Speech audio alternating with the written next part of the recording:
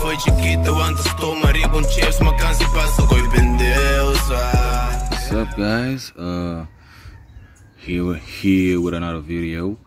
Uh, Today I'm gonna like um, reinstall the fuel pressure regulator. Uh, it had the fuel pressure regulator was you know this one it was installed when the car was turbo. I when I took the turbo off, I took everything off, make everything as stock as possible. So now I'm thinking I'm just make this video if people that are touring their 4E-FTE or 4E-FE, they um, know and brief explanation how to install a fuel pressure regulator and after, uh, aftermarket fuel pressure regulator on your 4E-FE. So it's very, very, very, very, very simple. Uh, I'll show you an explanation and then I'm gonna show you and then bit by bit I'm gonna show you guys um, installing it. Yeah, uh, yeah.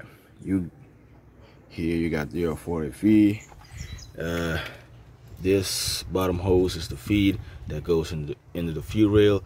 This is the return return line that goes back to the to the fuel tank. This is your this isn't this pipe is in time. This is your stock uh, fuel pressure regulator. The hose goes to um, to the uh, vacuum port on the intake. So basically what you need to do is just yeah. So basically what you need to do is just simple. Oh yeah um oh yeah. You guys gotta have to um, either order uh adapt uh fuel pressure regulator adapter so you can put your install your fuel pressure regulator forgot forgot to tell you guys that. as you can see this is a little banged up because when i um went to take it off it was pretty stuck in there. So um, I don't know you guys remember in the last video this um, you know port was out because I had to yank it out but I managed to get it in as you guys can see. This thing won't focus. Yeah see? Banged up see? But don't worry the when you when you put a hose clamp on these these um, some kind of teeth or whatever it hooks on so it does, so the hose doesn't back out. And also got o-ring i'm gonna you know put some lubricant on it uh, some little oil so it doesn't yeah.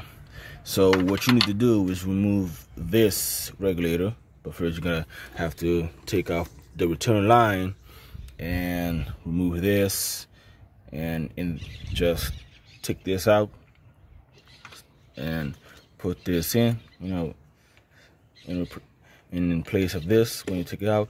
And and, and then you're gonna install your regulator. You're gonna figure out where you're gonna mount it either here close here uh, or there. Um, I I think I'm gonna mount mine um, probably here. It depends.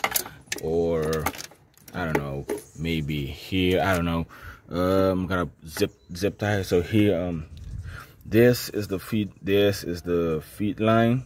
So this this line hooks this this line hooks goes hooks up here. And this is the this is the return line. The return line hooks up the bottom here. And you clamp and you hold clamp it and this is the vacuum port for the regulator. Just hose. I've already got an, an, extra hose to put to put here. And this is your gauge where you're gonna adjust it adjust it how you want it. Um, I've looked up um, you know on the forums stock for this card stock pressure is around 30 to 33 psi on idling. So if you want to raise it or whatever you can go up to like I don't know 35 36 um base pressure just raise it. But just remember every time you you know um, give it gas or whatever it it adds like an extra um, extra pound of cruise pressure. Meaning if you if you put it to 25 or let's say if base pressure is like uh, 33 once you give it gas or give it more you know on load it raises up to 34 to 34 34.5 um, yeah but if you but if you put it 35 you get like 36 36 and a half. Uh, this is just for you to control control how much uh, fuel gets uh, fuel gets to the injectors and the rails and you can adjust it how you are. It's you can you can adjust it more precisely than with a stock regulator. Although the stock regulator is fine but you know this is just for me to show you guys how to you know guys want to um, install a regulator on your 4FTE or 4FE it's very simple. And yeah when I install it I'm gonna have I'm gonna put it to like uh, 35 um, idle pressure. So I can so I can get like when I'm on load get like um, 30 36 36.5 and that's basically it. And but I also have the 4FT injectors and also with the also with the 4FT map sensor. But I'm not gonna do install it because it's gonna make the car run even richer or make the car run rich than it's normally. But with this you can just install it just make the car just run uh, give it just you know a bit more not much but with the 4FT injectors you're gonna get more and I don't want that because I'm not still NA not a turbo but I'm in the works of you know like I said in the last video I'm gonna buy a new turbo. Also I got the manifold downpipe so I'm just gonna put turbo or lines and stuff yeah it's gonna take it's gonna take uh, mm, some work but yeah. I'm gonna go stock location top mount but enough about that. Let's get this let's let's get this done. So before you start if since this I haven't started the car yet when I when I go to remove this regulator and also this return line no fuel will come out because the car the fuel pump or the fuel lines everything the fuel system has been primed. So yeah if you want to do this after you know after you finish driving it and you let it cool off it's best to um, either if you don't want to uh, take the fuel um, fuel pump fuel um, um, fuse out or you can just you know put a rag um, down here and here it'll, catch it. Mind you there's not enough fuel gonna come out just as just amount just a little amount. But it's best to put something here a rag or something just to be safe. So that's that's good enough. Just you know just to show you guys if what happens if you don't put a rag. I did this just to show you guys what happened what what would happen if you guys don't put a rag. Uh, as you can see I got a bolt inside the return line.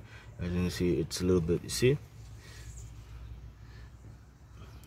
Fuel and the transmission over here uh, back there. Uh, yeah but these things you just wipe them off and by the heat of the engine and transmission this it vapors. But you still get that um, initial fuel smell but yeah just to show you guys if you don't put a rag or took out the fuse fuel will come out and stuff but it's yeah you you can't you could just let the fuse in just put a rag and put a bolt in something in as quick as possible either a flat uh, screwdriver something to plug something to plug up plug up the hole I, like I just did. So onto the onto the regulator I'm gonna wipe this up now. Yeah. So the the stock regulator's out. See?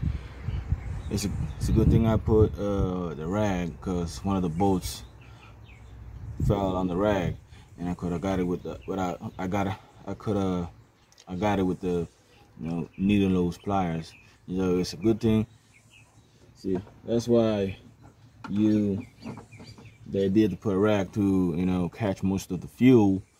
Although you're gonna lose, you're gonna lose a few, uh, a couple of fuel, um, liters of fuel or cup of fuel, but it's nothing, nothing of uh, fill up harm or trip to the gas station gonna yeah so yeah um now it's time to put this. Um a friend told me to use you know WD-40 for the o-rings so oh shit bro. You can you you could you could use oil too but I got WD-40 now and it's on now I just gotta figure where I'm gonna put the regulator put this hose on clamp it on and yeah probably I'm gonna use this exact same return maybe it's gonna be mounted up here so yeah. Yeah guys. Um I got uh, most of the stuff done. Um I've run some kind of an, uh, trouble. Uh, let me show you guys. Uh, yeah, I had to use different bolts that I had uh, because uh, these, know, this bolt didn't. I don't know. It keeps, you know, you know, spinning, not tightening all the way.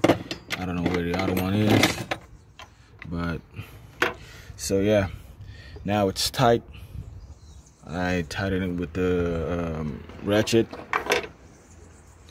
Uh, now uh, just to figure out where I'm gonna mount the regulator and then put the install the vacuum hose and start it up and see if it it got no leaks. Also forgot on the hose on the adapter, a fuel pressure regulator adapter, I had to hone out uh, them so that the bolts can clear because they were now threading on the inside. So all that done, yeah, I just wanted to let you guys know about that. If you guys are gonna order, um, it's for the 4FE. It's a actually it's a universal, so you can you can use it but just being mindful that you gotta have to you know make some customized stuff. But all, other than that it's good. Fits now. Yeah guys everything's plugged up. I'm gonna put this rag right down here. If it's if it leaks but i don't doubt it. Got the hose right back at the intake with also with the mm, uh, vacuum. I got the regulator mounted like this. It's gonna be behind behind this. You can see it still.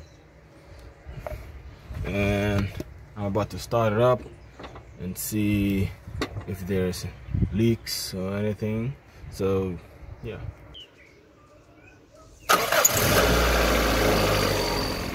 Yeah you're gonna have I had to prime it two times.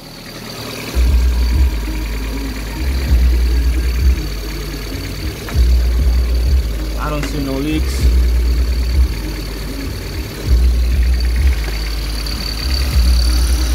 Oh. Yeah guys.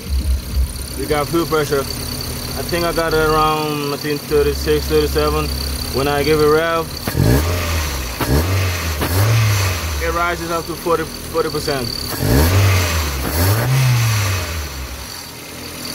I had to tighten these bolts because I don't know maybe all the time of vibration the vibration and stuff might have you know let them loose but maybe later I have to get a new regulator but until now it's gonna do the job um, I don't see no leaks So I'm gonna put everything back together, the stock airbox pipes and everything.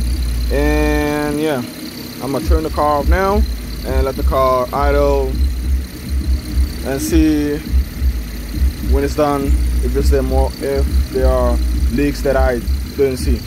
So yeah. So I left the car the car been idling about five minutes or so.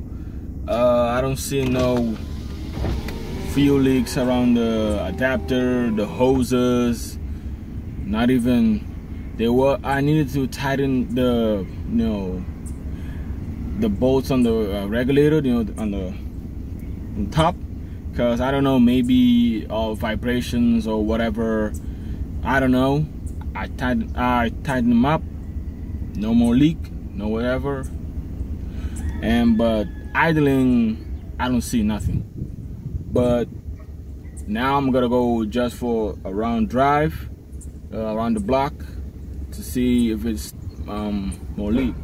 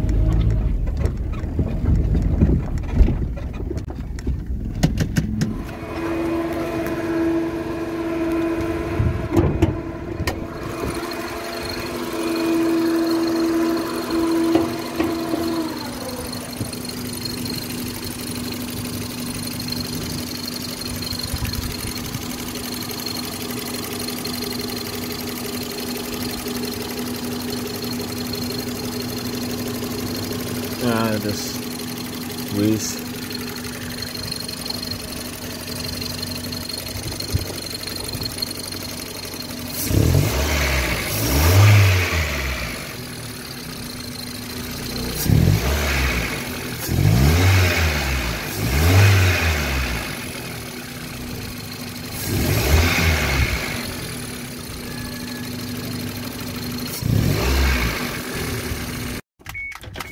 so yeah guys.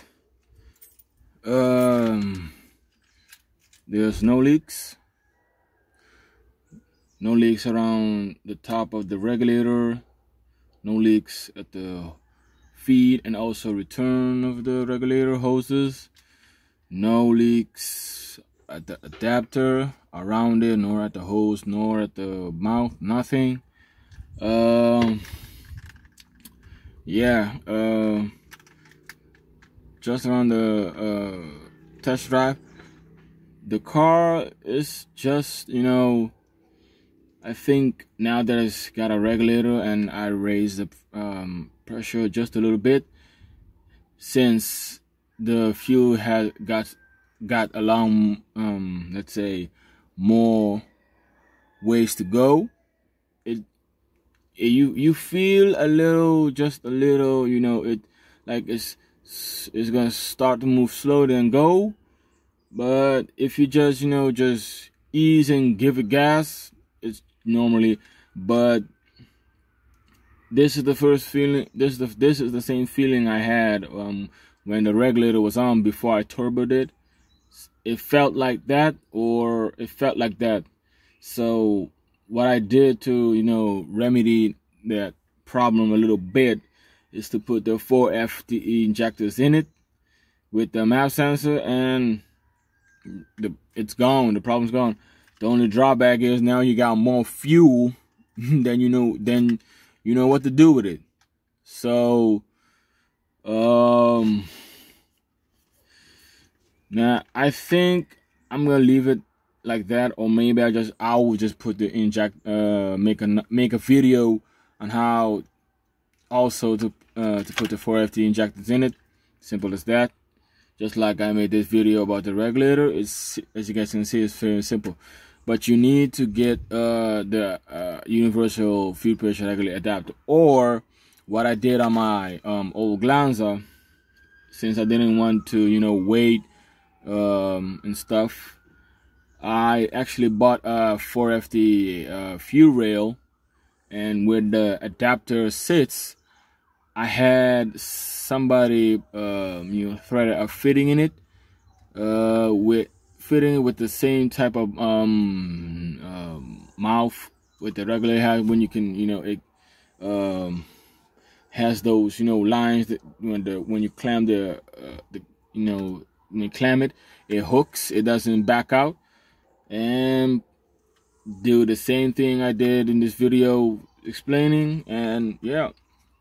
So oh and also when you about when you uh, install the whole the, the feed hose the one that that um, hooks up to the adapter make sure it has enough room you know enough room to you know uh, with no kinks because that's that's the main problem I ran into one of the Glanza I had um, I went to, you know, get my hood and my roof painted because it was a little, you know, um, the clear came, the clear side that came off was bad. Um, luckily, the hood, of my the hood was taken off, and my cousin went to go test drive it because he what he fiddled with the uh, fuel pressure a little bit, and what happened is since the hose coming out of the fuel rail was too, you know, uh, too short. Like it, it was, it's like this and this. So the fuel didn't have much room to, you know, travel. And since it was so, you know, like this, the hose got so much, too much pressure on it and it, you know, burst out. Luckily, there was no hood and they could see it, it literally splashed against the windshield and they, and they saw it. So they immediately turn turn the car off. Uh, one of its friend has um, you know, his army knife. Uh, so they cut it, put it on, and yeah, and then after that, um, we made sure uh, my car, my cousin, and also me, we made, make sure that um, anything that has uh, um, pressure on it doesn't have no kinks and needs uh, either a direct uh, direct from one from A to B or if it's or make it enough room to, for it to travel with no with free with no stress on it with no kinks with no nothing with no short nothing. So yeah that's yeah. Um maybe probably because i'm trying to get as much you know um you know content as out as out um yeah I might I might in the next video give another tutorial on um, how to install the um, injectors. Same thing, same thing I did with the same thing like uh, and the O-ring of the um, adapter. Spray with the, um, either you can use oil, you or WD-40 so it doesn't, you know, slide in smoothly. Same the same thing you're gonna have to I'm gonna have to do for the remove the uh, 4FE injectors. The 4FE injectors, they are 195cc and the um, 4FT are 295, meaning 100 cc more, meaning that's a lot of fuel. So with combination of the regulator and also with the map and stuff, I'm like I said, I'm gonna have way more fuel than I don't know what to do with it. So I think I might, um, you know, get a let's say, um, an aftermarket um, power filter and maybe, you know, make make make something out of it, like make something, um, probably like a coal like a cold intake. Probably so yeah but that's it man. Uh, maybe maybe tomorrow maybe i don't know in this week that's coming up i'll change injectors. Might or might not or i might just you know try to get a um uh, aftermarket pot filter and try to make uh, uh try to make um uh, after my after my cold cold intake, and I'm probably gonna use some you know something to you know um make a shield that the heat that can isolate the filter from the heat doesn't yeah. But this is gonna do it for the video my friends. I hope you guys find this video informative. I hope you guys can you know watch watch watch this video and see how to install a uh uh, aftermarket fluid pressure regulator on your 4FTE or 4FE bill, whether it's NA or turbo or whatever. And it's practically um, on all other platform cars, it's practically, practically the same. So you can you can but mostly this is for the um, four cylinder 4FTE 4FTE 4FE same with the 5E um yeah but yeah hope you guys like the video. Uh make make sure you guys hit the like button comment below and subscribe and help grow the channel. So yeah i'm gonna yeah. Other than that i'm gonna see you guys in the next video man. Peace